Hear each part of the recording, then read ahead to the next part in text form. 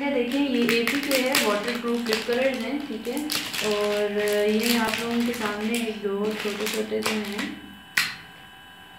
colours show करूँगी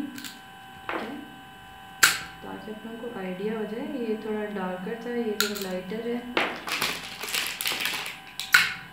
और ये रेड है रेडिश सा,